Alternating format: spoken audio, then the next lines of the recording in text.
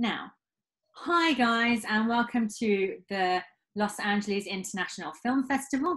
So, we are on a producing panel at the moment, and our special guests are Hal Corky Kessler, Nan Puetz, Dave DeBorde, and Patrick Rea. So, thank you everyone for joining us today. It's my pleasure. Thank you. Glad to be here. And welcome, welcome to the first Los Angeles International Film Festival. So I have a few questions. I know you're all, you have so much information to give us, so thank you for joining us today. And I have some questions myself, and then I'm sure you have more stuff to tell us as well, so we'll go from there. Okay, before we start, I want to tell you that I'm an executive producer, so I wear that hat in your producing panel. Yes. So please, everyone, introduce yourselves and what you do in the film industry. Uh, my, I'll go, I'll go if you guys. Um, I am a producer director, uh, also a writer and editor, um, and I'm based out of the out of Kansas City, where it's really really cold right now and snowing. So, uh, not filming outside at the moment. wow. Yeah. Hi, uh, Corky Kessler. I've uh, been a speaker during Sundance for 22 years and Cannes and Toronto and now the, the Los Angeles Film Festival. I've been the attorney on uh, 24 movies. I'm working on 20 more. And I was one of the principal people responsible for one of the biggest incentives in the United States called Section 181. Excellent. Thank you, Corky. We'll talk a bit more about that later. So, Nan. Hi, I'm Nancy Puetz, and my friends call me Nan, and I'm thrilled that Natasha does. Um, my uh, experience is in producing, and also I'm a writer, but I don't write myself. What my specialty with that is that I edit scripts. So right now I'm involved with editing two scripts. I have produced um, six films myself. I don't direct, I do. Um, I'm the connector, as Corky likes to say. I pull people and money together, and I pull people and objects together. And if I had gone to film school, which I do advocate, I would have liked to um, really work towards being a line producer, which I think is a critical job in producing. Just the first person that I always think about hiring. I have then assisted on multiple uh, films, and right now I'm involved as a producer on two feature films. One of them's a documentary, and the other one, which is based on a true story, is uh, drama and action, and it's real exciting. And both of those are slated to go forward in 2021. And I'm editing two scripts, I think I said, yeah. Thank you, Nan. So, Dave, oh, I'm very excited to hear about what you're up to. You just yeah. So um, yeah, thanks for having me. Um, of course, I know uh, you know I'm very good friends with Corky and Nan. I've done those those two for a while, and good to see them. Good to see you two look healthy. And uh, Patrick, nice meeting you. Nice to meet um, you. Um, yeah, so I get involved in all kinds of stuff. Like I'm, you know, I've, uh, you know, and I'm involved in one production that Corky's also involved in that he got me involved in. Um, that's a music biopic, so I'm involved in that one and that one's active. Um, there's another one, uh, the the one that I just came off of the, the phone on, or actually it was a Zoom call right before this one. Um, is uh, I'm I'm the screen I'm a screenwriter I'm a, and I'm on the producing team of a uh, family film. It's a camp film.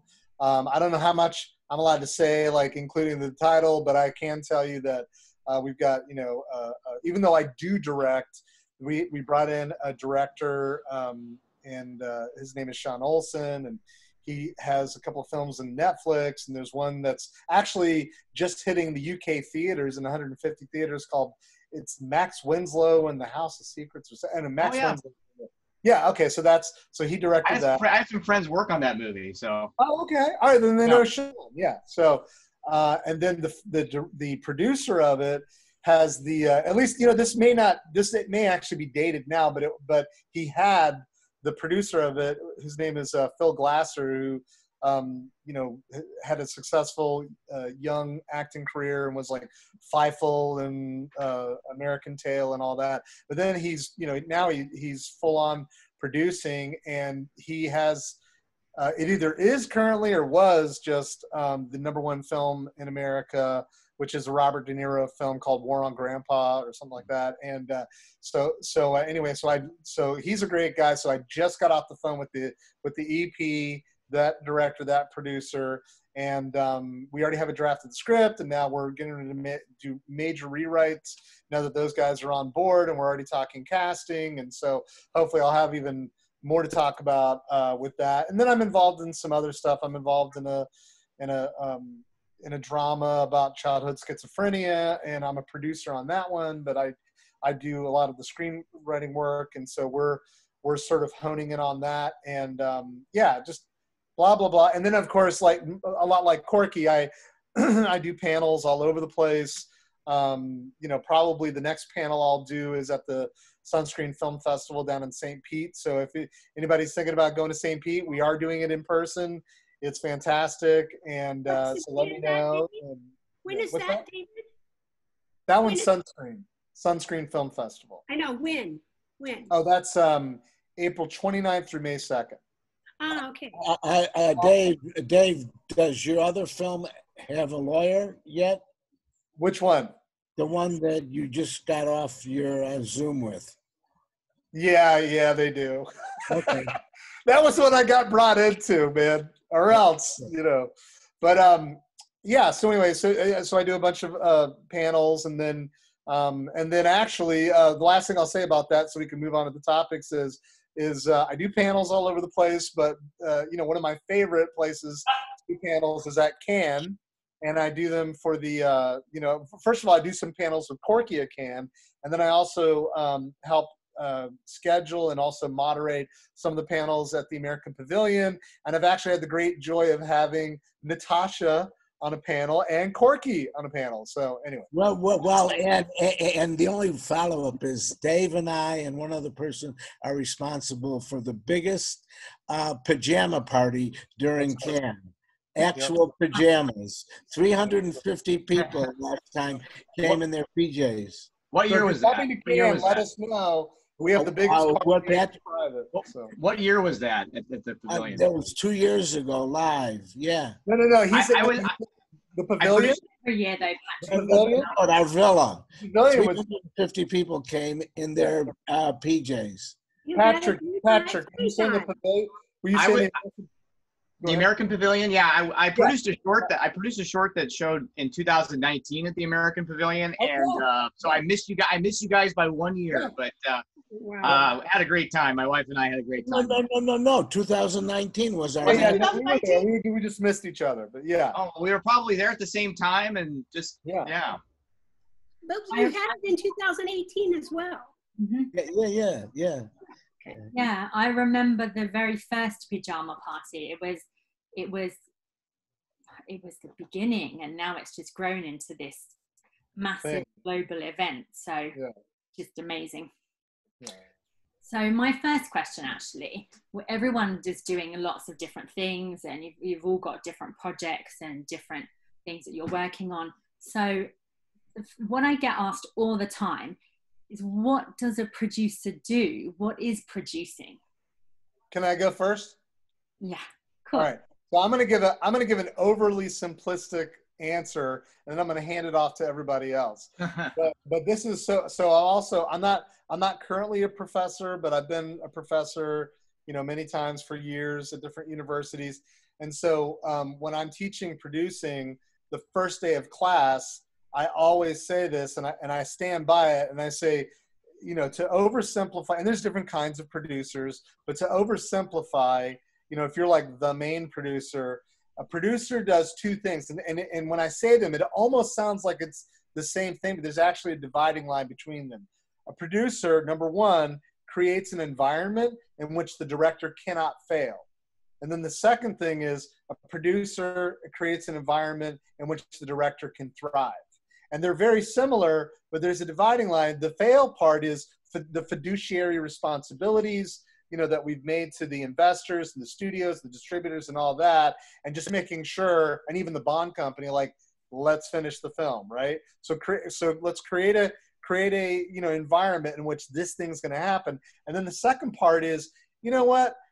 Film is so hard and it, there's there's risk involved and it, it's exhausting and there's more failure than success. It's like you know what? If we're going to go through all that let's make it good you know and that's the second part. You know let's okay. let's create an environment in which the director can thrive. Mine's a little different when i teach it at, and i'm now talk about the difference between an executive producer and a producer. All right. I when i teach it i say even simpler. A producer is the person who's responsible for making the movie period the executive producer is the legal and the business arm to the producer.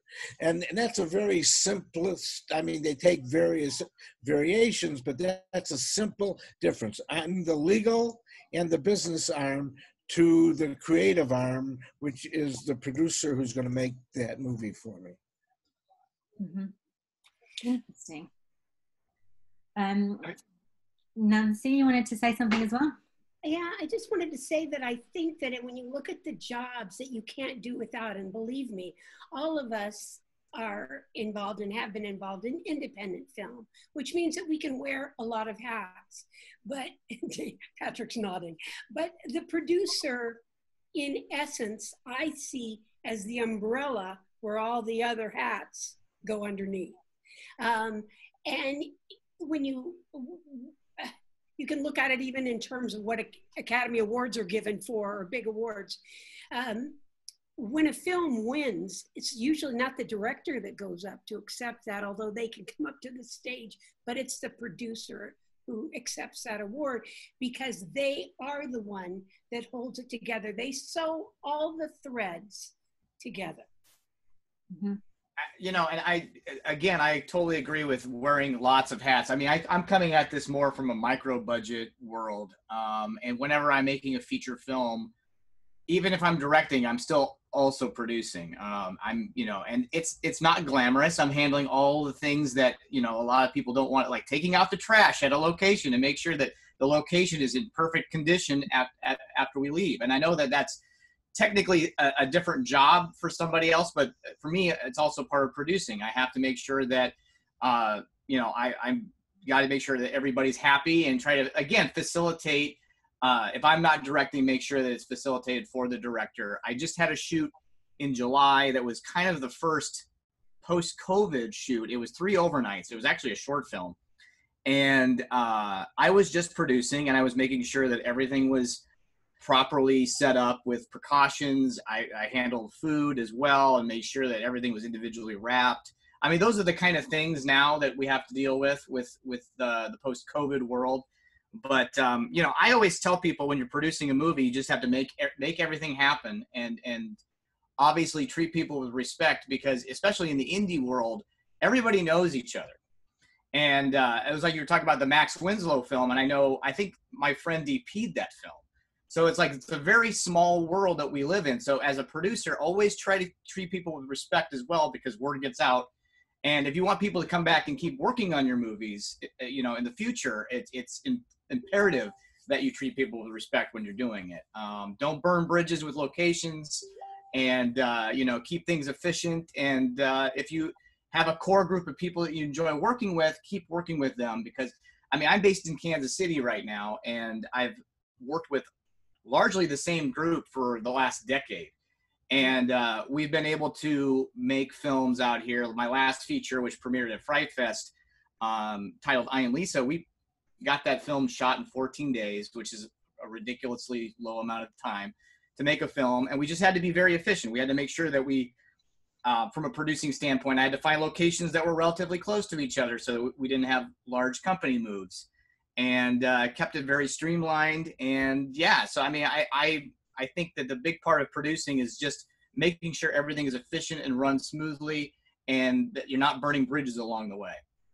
Uh, Patrick, uh, I mean Patrick, um, what are the budgets that you feel comfortable doing? I mean, I've worked from. I mean, all my budgets have been under a million dollars at this point. But Okay. I would be perfectly comfortable doing more than that. But, but my budgets have been under that. I mean, because I, as an executive producer, my part of my job is to protect the money, and the only way I can protect the money is if we have a completion bond, Mhm. and you can't get a completion bond on a film that's under 1.5. So I typically do not work on films that are low budget that I can't protect the money. But more importantly, what you have to understand is that before a producer, and I, I hope everyone agrees, before you get to that stage, you're building a team. The Right. producer's job is to build his, her, or their team because you don't move forward on a project unless you have a team ready to move forward because a producer needs a lot of other participants before he, she, or they can move forward. Right, right. Absolutely. That's one of the really key key things here. So, um, I wanted to ask a question, which I think is interesting, speaking um, to Patrick and even Dave. And I mean, I'm only asking these from my background too, is that since I have worked on everything from smoke and mirrors, as I like to say, to 1.5 million. So there's a lot of room in between those Right, two. right, right. But I always try to think if I, if budget you know the money was there what are the jobs that you would relieve yourself of? Because i think we've all i mean i started at the very bottom and now i'm devoting more time and more energy and will continue to as the founder director of the franklin international independent film festival. That's truly what i'm loving doing. And and so if i was to go back into really devoting everything that i had into film what is your ideal what does your ideal team look like what would you give up your if you got all that money what would you give it up to and what would you david give up your producer director Yeah, all right. So, so I'll tell you what. What I'll do is, especially because this is for um, educational, you know, reasons for the film festival and all that. So I'll answer that by first just real quickly knocking out like who the different producers are, and then I'll say this is where I would say. So first, we start out with the Corky. So basically, you got your EP, right? Your executive producer. Then underneath that, despite the fact that IMDb still refuses to create the the title creative producer, it's so funny. IMDb doesn't put that in there, and yet in the industry, that's what we talk about all the time. Like when you're talking about like the producer, that's the creative producer, right? Right. And so, and then you know, then after the creative producer, you've got some co-producers who who aren't quite a full producer, but they're very important and they're a part of it for various reasons. Then underneath, you know, underneath co-producers, then you've got you know the uh, the ASPROD or the associate producer, and again they're still on the producing team. They're lower on the, the, the totem pole, but they're still a producer, and they're there again for any myriad of reasons. They provided an important location, or they brought in some of the money, Right. or you know whatever it is. Um, I you know, and and I've oh I'm sorry, I forgive me guys, I forgot the line producer. Sorry, yes sorry about that i'm talking the line producer is you know is right next to the creative producer right and the line Right. producer is the one who who budgets the film and deals with a lot of hiring and firing of the crew and all that kind of stuff. Sorry i totally yeah, meant to getting the getting the permits and yeah and getting the per- and then and then right yeah and then, and then depending on whether it's a union film or how large the budget is right next to the line producer you know or just under is the upm but of course that that often is dictated by is it a dga film? You know sometimes people will have a upm even when it's not a dga film just so they can differentiate between between the line you know the, producer the duties that the line producer is doing and what they're having the the UPM do. The line producer is a little bit more creative role. Uh, the UPM is sort of known as a little bit more uh, crunching the numbers and, and and doing that for the line producer. But the line producer is over all of it. I and and so and I've taught all of those. Um, and, and so I know how to do the budgeting, and I think a good creative producer should understand budgeting because you, at the end of the day, fiduciary responsibility, you have to answer to, you know, to the powers that be, the investors, and Right. so on. So, so I think I feel like an effective uh, creative producer does need to have a knowledge of a line, a line item budget, know how it works, what are good numbers, uh, know the rates, et cetera, et cetera. But then, but but beyond that, I, you know, so I know how to do that, and I've taught that. But I prefer the creative producing uh, role, and I have some great, you know, UPMs and, and line producers. You know, a couple of them out there that I that I like to pull in and I like to use not that I can't run those numbers, but because I feel like it's so important when you're working on a film that you need to, everybody needs to be in their lane and they need to be good at what they do in their lane. And so I am average when it comes to being a line producer, but I think I'm really good at actually networking and some of the skill sets that come with a creative producer. So anyway. Yeah. Eh, but I mean, you just still didn't say where would you put that no, creative, for me, money. creative. If you didn't have to do every single job, because you know, in the end, it's your ass on the ground. Excuse my word. Who would you be the one you would hire? Is what I wanted to know from you. And and and and Patrick, who would you hire to relieve yourself of that one piece? Oh, the line for me. I'll just answer real quick, and I'll hand it off to Patrick. For me, it's the line producer first. Hire the Yeah. line producer working with me and the other creative parts of the creative team above the line. You know, and then definitely a line producer for me too. I mean, I'm working on a, a film right now where uh, I'm looking for a line producer, and I've worked with one that I, I'm, you know, good friends with out of Charleston, South Carolina. I actually worked on a TV show called The Inspectors back in 2017, and he was the line producer for the entire series. It was a CBS show, so I'm thinking about hiring him to alleviate some stress, obviously, for the next film because you know, with with with, with uh, I am Lisa, it was one of those things where all the roles kind of overlapped each other. You know, I was directing, but I, I was also worrying about okay, uh, there was a day where it was going to be 105 degrees, so we had a heat advisory, and they're like, okay, if you don't need to be outside, don't go outside. But the problem was that the second that we moved that day, it became a house of cards or a domino effect. We would lose a location down the road. Uh, we would end up not having the camera that we rented for a specific day. So it was one of those things where we had to power through. And it would be nice to not have to worry about that and have somebody else worry about those things. But as an indie filmmaker, you're also, you know, managing those things on top of also directing. So it'd be nice that, you know, I'm primarily a director. So it would be nice to only focus on those those things and you know and and uh, but uh, you know we shot a movie in the middle of July in Kansas City, so those problems were going to come up. Bravo. Uh, Patrick, Patrick, yes. I, I forgot to tell you, you've got my one of my favorite barbecue places in Kansas City, Which one? uh, Brian's. Oh yeah. Oh my God! It, it's it, if you ever go to Kansas City and you like barbecue, it's Yeah, we have the best barbecue for sure. Yeah, Brian's. It- it's- Hey, hey, wait a second. We're in Nashville, man. I, you know. I think one of Corky's secret little um, uh, shame, you know, people go, that's my secret shame, is that he loves barbecue. And when he goes to cities that have specialties, he's kind of a connoisseur of the different types of barbecue, right, Corky? Well, I think that's very important for an executive producer when they're going out to dinner at various places to know Yeah. there's good food. So Or thinking mean- craft, craft. I mean, we could talk about we could talk about catering and the importance of having making sure everybody's well fed on a movie. Man, that exact expression was the first thing I was told in my first and I'm I'm going to mute myself for Natasha's sake. But but for the first day, I said, well, well, okay, I'm going to produce this, and I know I've got the money and everything, but but what is your advice to a friend of mine who was an Oscar qualifier?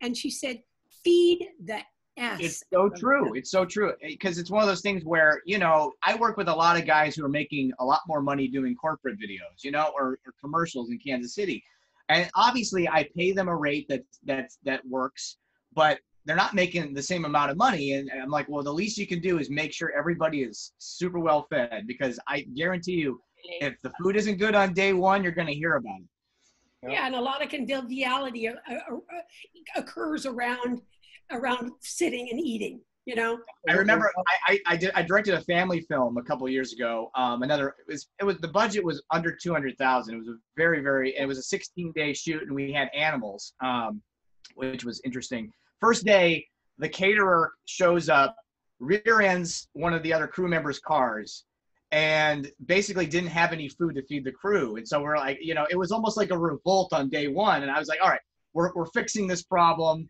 Day two, we had the best food, and for the rest of the shoot, it was fantastic. okay, Natasha, it's back to you. Wow. Um, I mean, I completely agree with all of that. So, yeah, f- food, good catering, feeding everybody, really important. And creating an environment where the whole team works well together, the director can create his vision. I agree with everything you've all said. Um, Corky, I have a question for you. Okay. You've you've worked on a lot of deals with writers and from a legal perspective as well. Yeah. So tell yeah. us a little bit more about that. How do you put all the right legal things in place, working together with different people or the contracts? Tell us a bit more about that part of what you do. Oh, well, okay. Well, all right. Um, this is more of a lawyer question than it is a producing question. Um, but I'll try and tie them both in. When I get hired, I usually get hired to be both the lawyer and the executive producer for the film. So, wearing both of those hats, I'm going to help build a team. I'm going to find out who who is part of the team right now? Do do I have a screenplay? Is a screenplay right? If the screenplay needs to be fixed, I'll usually bring it to Dave DeBorde to read it and fix the screenplay. Okay, then I'll look at who else do I need for the team in the development stage. I'll bring in maybe a producer. I may bring in a director. I may uh, uh, bring it and an actor. But however I define my team to move forward, uh, then I draft all the legal documents for the money, which is very important. And unless you have the investor documents, you can't get get any money. Once I prepare those, I um, send it out to some of my funding sources. And very interestingly, People call me almost every week and ask me to try to get funding for them. And I tell them I don't I don't disclose my funding sources with people who are not clients of mine. And they will invariably tell me they have a lawyer already. And I say to them, then go ask your lawyer to get money for you because I'm not going to disclose my funding sources on projects that I'm not the attorney on then when it comes to a movie, like I'm doing two movies now for um for Rudy Langlais, who's an Academy Award producer. Um, he produced Hotel Rwanda, Hurricane, Sugar Hill, Redemption, and it's a film called Miles and Me, and it's on the last stage of Miles Davis' life and I will be doing all the contracts. I won't be doing the negotiations, but I'll draft every contract for the movie and, and all the distribution contracts uh, from soup to nuts. Um, I will get them insurance. I'll get them E and O insurance. I'll make sure that the film is bondable. I will make sure that we are ready to move forward. Um, and uh, that that's pretty much uh, what I do. And um, but during COVID, um, if you're going to do a movie during during COVID, you, you should have a COVID clause in your contract. But SAG came out and said they're not going to honor any COVID exclusions from contracts. So since you can't have that, you have to create an environment and hire more people to make sure everyone's safe. So it beefs up the budget. You've got to bring in the nurses and you've got to bring in the testing people. And it becomes a whole thing unless you're Tyler Perry, who has a studio in Atlanta, and he creates his own bubble. And nobody comes out of his studio when they're making the, the movie, and everyone has their temperature taken per day, but they don't leave the studio. So he creates his own bubble. Does that sort of answer it, Natasha? Yeah, definitely. Definitely. There's so many things that just that you have to do as a producer and also all Oh, plus, legal things uh, uh, plus, plus, I was very fortunate that uh, a couple years ago, 66,000 people, including people in London, uh, voted for me to be as the best entertainment lawyer and executive producer in the United States. Although I paid 65,000 of them, but 66,000 did vote. Wow, excellent, Corky. That's brilliant. Thank you for joining us today.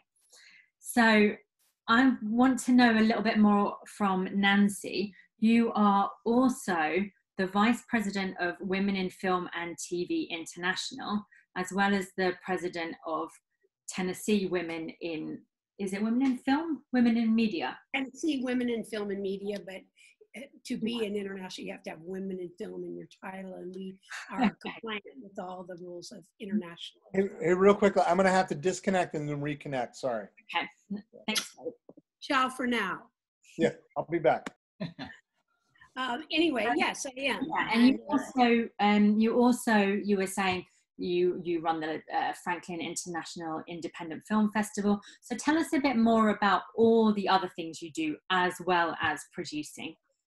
Well, uh, so the Franklin International Film Festival is in its fourth year. Um, we, of course, had to postpone and postpone, and now because I'm so committed to some of the films that we have, some of the features from Bastards Road and Wishman, uh, you know, to The Prison Within. I mean, we have these amazing films that I feel deserve to be seen, which is why we're doing the uh, drive-in movie thing. But also, uh, again, I feel this commitment to bringing film to people because there's nothing that sparks communication unless you have a book club than film and film festivals because it's a way to open up people's minds. Um, I've been involved in women in film because my career started back when toast was invented and I worked on a television show called Grizzly Adams.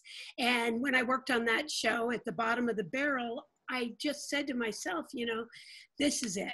This is for me. This is what I'm going to do. And I had no desire to work on the other side of the camera, but I wanted to know everything that I could grab onto about that. So within that, I began to see through the years both marginaliza- marginalization of women within the industry. And I want to say, especially on the backside of the camera, you know, uh, for a long time, the only notice was, oh, quote unquote, the casting couch, which took place on both the front and the back of the camera, but also opportunities where I would see women in different positions as I was moving up that I felt were highly capable and highly incredible. And it came down to, well, would I put $50,000 into this woman who's just starting in her career and I've got a lot of word of mouth on her, but why would I give her a job when this guy comes off of, you know, like 10 films where he's doing a really good job? Now, my attitude towards that, which Corky can validate, is hire the woman. And I know you'd have to fight for that woman to uh, a uh, big okay. studio, perhaps, but my feeling is if they don't get the chance, they can't rise or fail. Where a guy could have had plenty of opportunity to rise. So I got involved in women in film, and lucky for me, they, you know, I became president of my chapter, which is the state of Tennessee, and then through that, I got a call from International Women in Film. Who said, I know you're a really small chapter, but it sounds like you're doing a lot of things. And International Women in Film brought me in, which then it gave me an opportunity and Corky's opportunity to be panelists at different film festivals. I am the moderator of the African Pavilion um, films. And you know, Nollywood out of Nigeria is the second largest, you know, filmmaking community now. And a lot of people don't realize it's Bollywood, Nollywood, and then Hollywood and so forth and so on. And uh, so it's afforded me an opportunity to get different perspectives on what women are doing and therefore get perspectives on what men are doing. And my idea has never been me too or you too, it's us, what we can do together. But I feel as women have risen, especially on my side of the camera, have been rising, you you take a better place and and you work well better with men because you don't feel like you're not given a chance except for cinematography Well, there's only been one time a woman was nominated for an Academy Award, and lucky for her, she won. Okay, But- well, I, I, I can tell you something about how about, about Nancy. As good a connector as I am, or think I am, she's the best. If you have Nancy on your team, you've got the best connector you have. And just quickly to follow up, Nancy said she take she take the woman who hasn't done much. Well, during during Sundance panels, and sometimes I, I get blasted for it. I say the example of this.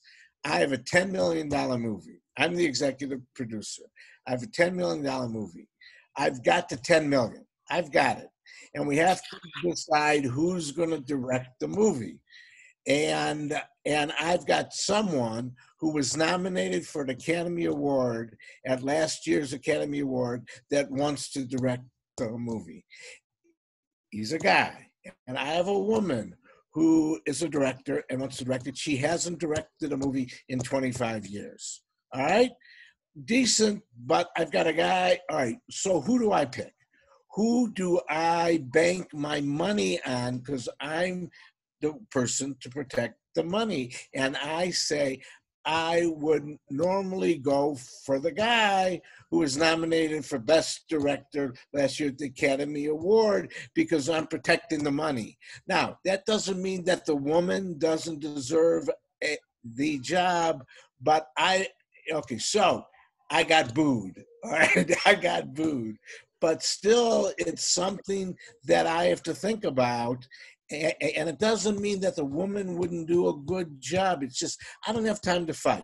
I really don't have time in my daily life to to want to fight.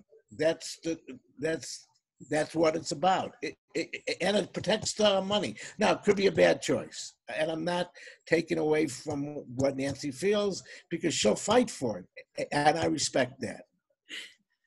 I will because I feel like I feel like uh, what happens there is that I think when a woman looks at something, because we've had to sometimes fight really hard for that, is that to sit at that table, or we did in the past. I'll put it that way.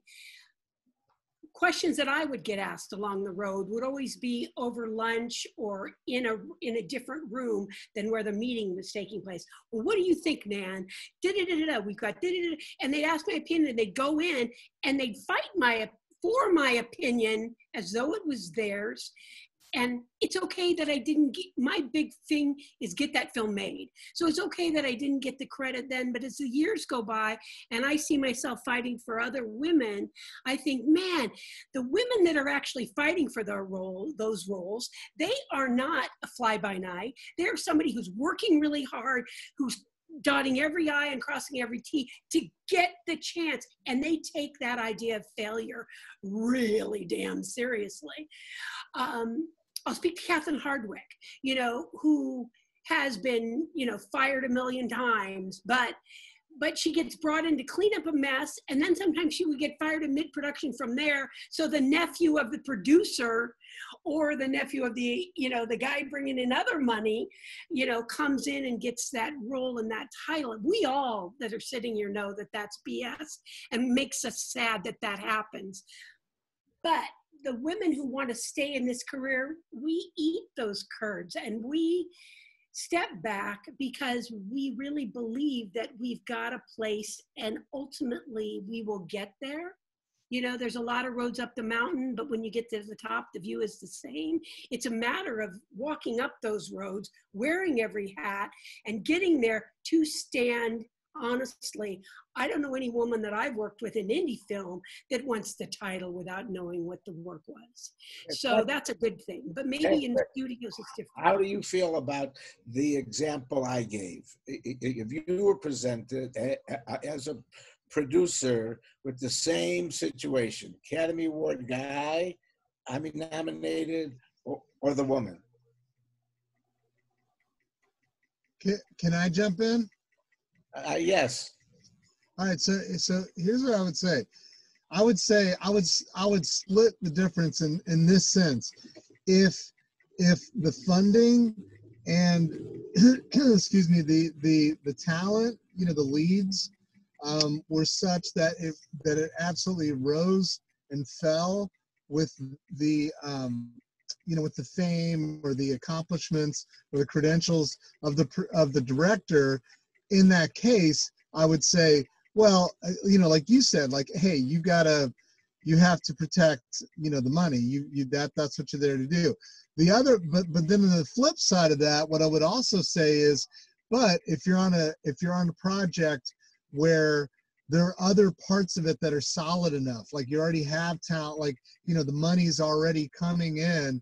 In other words it isn't all fall, you know rise and fall with whether or not you get this elite you know elite as far as credentials go uh, director then i would say you know um, hey you got to you know you got to send the elevator down. You know it's like you know you gotta you gotta get you gotta you know make opportunities for women and you know people of color and, and things like that. So i so i don't know i don't know if i'm saying it the right way but i feel like i feel like you know it, it's not just one or the other but i do feel like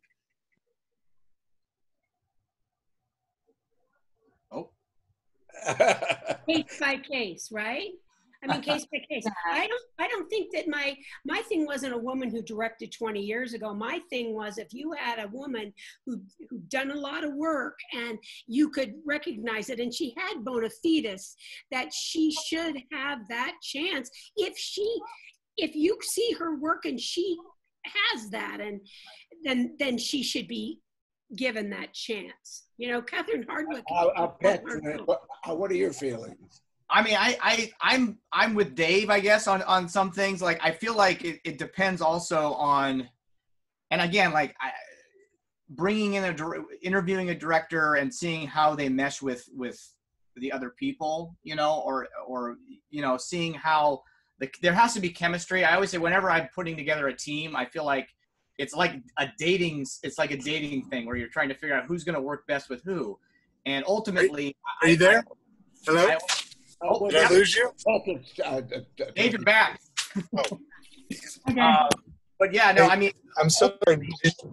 There we go. I had a problem with my uh, with my with my sound system. Give me one second. There we go. But ultimately, when I when I'm putting when I'm directors, producers, whatever, I like to get everybody together and see who's if, if there's like some chemistry there, synergy between the people. Uh, you know, I, I mean, and that comes down to not just directors, but it comes down to crew and, and I mean, Patrick, but it, as a producer, if you get a director first, right.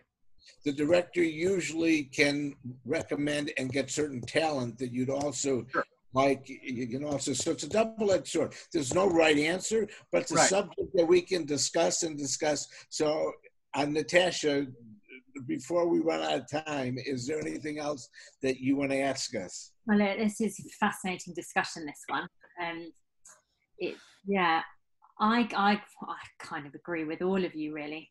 But um, my final question to everyone is: when you you you get tons of projects, so what is it about a project that says to you, yes, this is the one I'm going to get involved in this? What's the key thing for each of you to get involved with something? Oh, wow. Okay. For me, and, and it's very simple. Uh, it's the story. Um, uh, people, unfortunately, pay me a little to read their screenplays and provide oral business coverage because I think they should ha- have a little sweat in the game. So not a thousand people send me screenplays, but once I read a screenplay, it's visual, and then I decide in my feeble mind whether it's marketable or not, whether I can do something. I mean, with it. So it starts with the story, um, because if the story's good and grabs me, and I think I could send it out to my people that I want to get involved, then I'm way ahead of the game. So it's really simply the story. I mean, I would say for me, I always am looking for something. If I'm directing, I'm always looking for something that I can relate to in the story. Um, in the in the instance of uh, the family film, and I normally don't do family film. I, I'm primarily a horror director, but when I got sent this family film script and the producer reached out to me, I said I, I found something in the story that I could hook onto. I guess like uh, I'm a I'm a father, and it was about a father and daughter relationship. So those are the things that like I, I can see relating to a uh, having mass appeal, having having a, a commercial value, and um, and the same thing with I Am Lisa. When the writer pitched it to me, I was like, that's a cool idea. I like the story. There has to be a spark, something inside of you that sparks and says, I want to do this because um, I, I do read a lot of scripts and, and, you know a lot of them I end up passing on because there's just something about it that isn't hooking me and so ultimately it's the hook of the story and also being that I, I, I you know I've been working with smaller budgets I also have to look at and say is this doable right now? Am I able to pull this off and produce this uh, and and do it on a reasonable budget and deliver it on time? And uh, you know obviously if it has a bunch of car chases most likely can't can't pull that off right now. Now i know how about you? Oh she muted. Sorry unmute. Um, okay so interestingly enough again it's the story it's the story it's the story that it can't just be an interesting story for me although I'll, what i do with those that are i'm on the fence about or i think gee that's interesting, kind of like what Patrick says. But what I like to do is I like to go back to that person. I say, send it to me in a tweet. Send me the entire story in one tweet. And if they can encapsulate that and I can still feel something about that, then I'd like to really look over the script again. Because sometimes when somebody's just giving me just a, a small synopsis, I get, if I get all confused and the, I don't know where the story is going and I don't have any kind of feeling for the characters and I'm not gracious enough to give them in the first 10 minutes, I want to know in the first four minutes what's going on, to who, and why or the obstacles. You know, I need to know that. In a documentary, I want to feel that it's timely, that I can relate to it, so that if I'm producing it, that I know that I believe in it.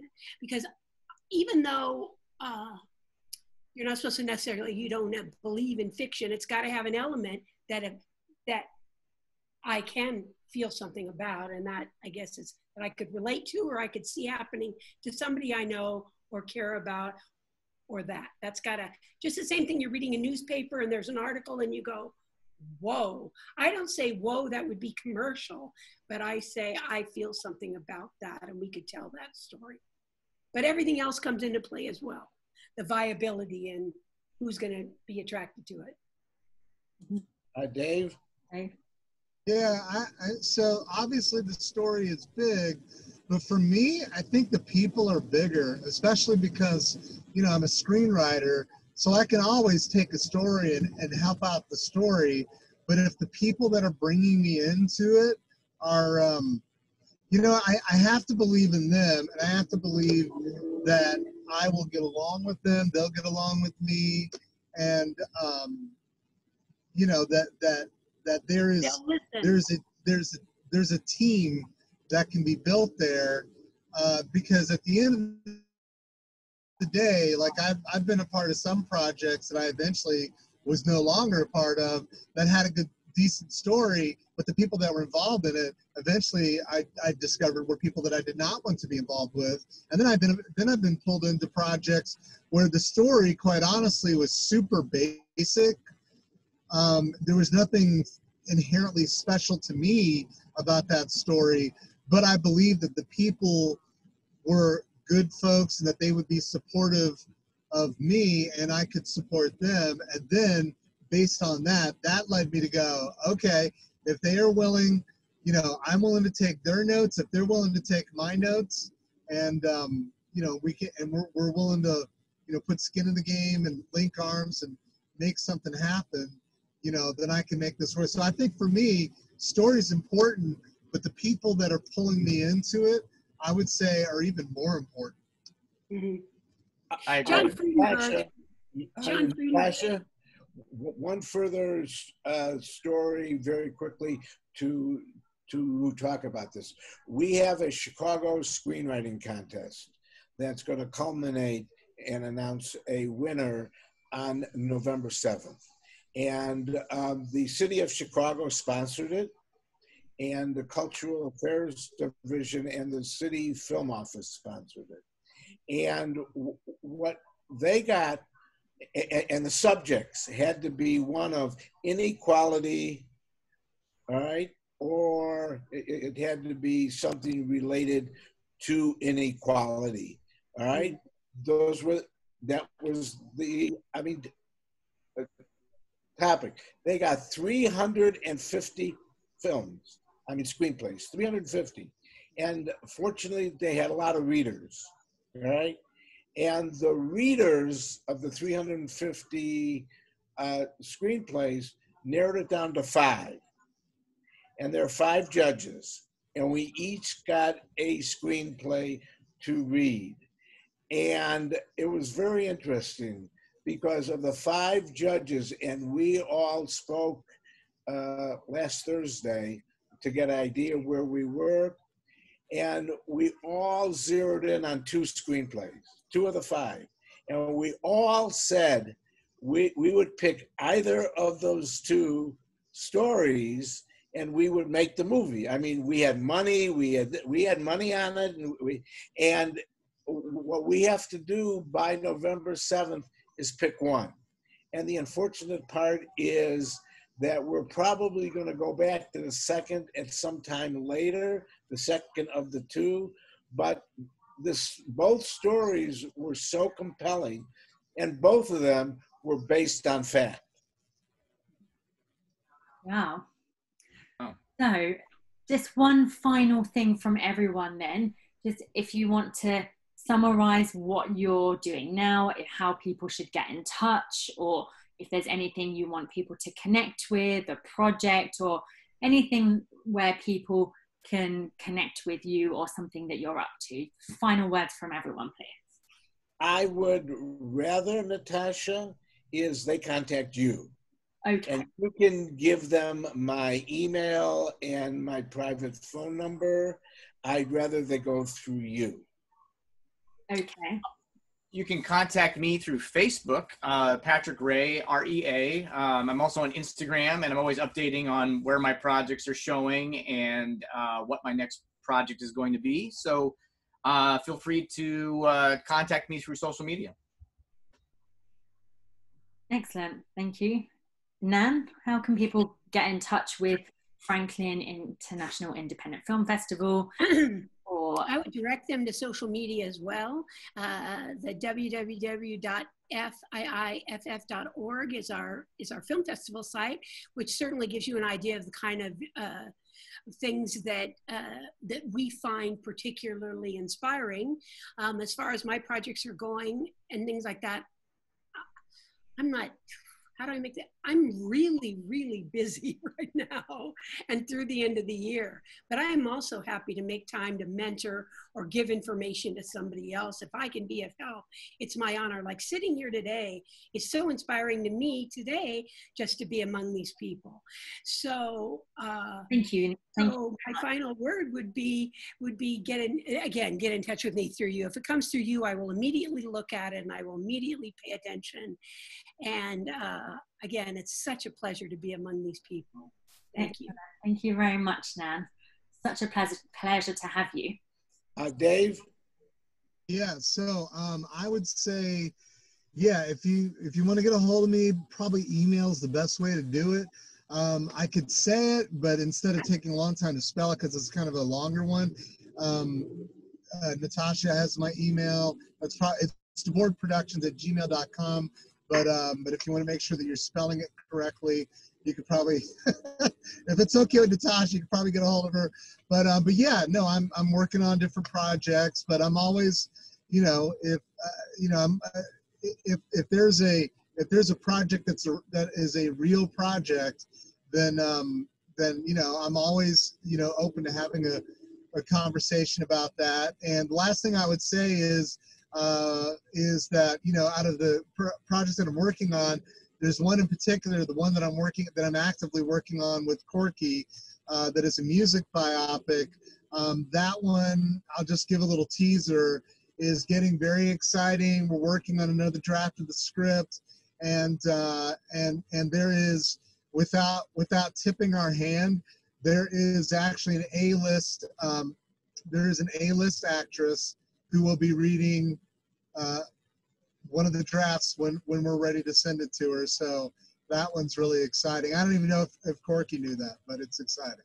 Well, that's okay. Uh, Corky will find out. So, um, Of course you will. uh, Of course you will. so okay. So Natasha, uh, I think that your audience should know that you're going to be on a panel during the Sundance panels, which are January 30th, Yeah. and and uh, Nancy too. And uh, Dave, I- I'll try and get you on a panel too that we're putting together. But it's uh, January 30th. We don't have a time. We'll get the event right out, and and um, uh, I will have great panels, a- a- and you'll be very eager to hear what Natasha has to say when I moderate. Corky, don't you have a podcast too? Corky, aren't you doing a podcast as well? Uh, Oh, yeah, okay, yeah, yeah, all right. So, so I do uh, uh, podcasts too, and we're gonna have Nancy on our next uh, podcast. So We have great, great people on our podcast that I do. Um, but uh, yeah, uh, uh, we do a podcast. Amazing. Excellent. Well, thank you guys for your time today. I don't think we heard Patrick though, did we? Oh, He Yeah. didn't finish. Oh, I, um, yeah. uh, Just for social media, I say just reach out to me on Facebook and Instagram. Um, again, Patrick Rea R E A, and then same on Instagram. And I'm again, I'm always posting where my films are playing, if they're at film festivals or um, And Uh, next year you'll be in Franklin. yeah, I totally, totally. If we can, if we can, I'll drive my whole family there. We'll we'll just do a road trip. Um, but you know yeah, what? no, I- what? Yeah, and I'll say this one last thing. If you want to attend the Cannes pajama party, private message me or Okay. Corky, and, and we'll put you guys. We'll put you on the list. I, But- you know, but I'm sad, I'm sad I missed it that the last But- time. but- so. but, but that's assuming I'll, I'll be there as well. that assuming Cannes is live. Yeah, right. It, We yeah, have an it will be. already. Yeah, I know. We've already got a house. We're good. Yeah, I've got a villa on hold, but I'm not pulling the trigger until February. Be, uh, be, be because I'm not going to know. Thank you, Natasha. Thank you guys Thank you, you. Natasha. for being here today. Bye, bye everyone. Thank you guys. take care. Bye, everyone. Bye.